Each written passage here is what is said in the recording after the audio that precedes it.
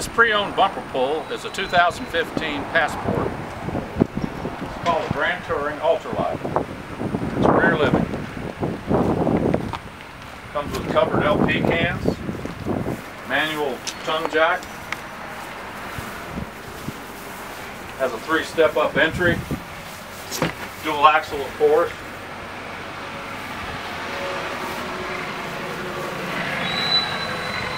comes with a gas griddle swings out on the pivot here and you can cook outdoors.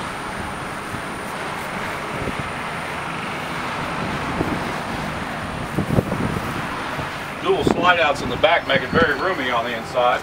Also has a utility shower out here for you to hose out your sewer hose or wash off your boots if you get a little dirty. Front storage goes all the way through.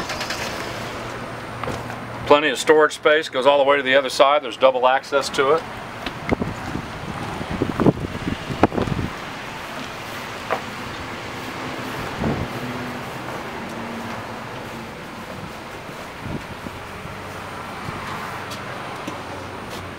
The interior features a very nice kitchen in the center with a lot of counter space, three burner stove, microwave oven, double tub sink.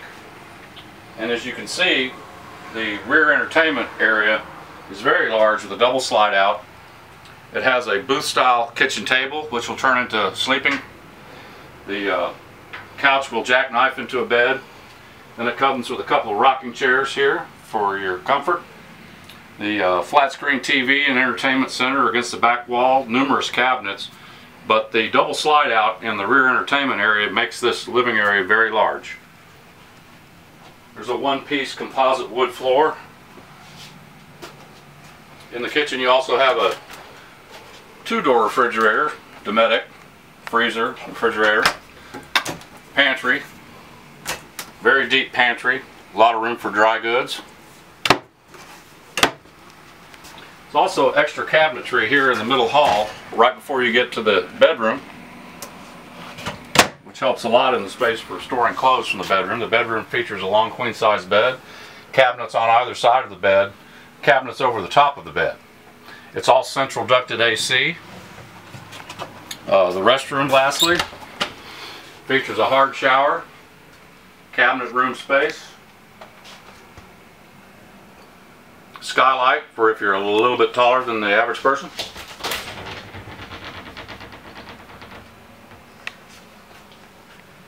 This model again, the uh, 2015 Passport Grand Touring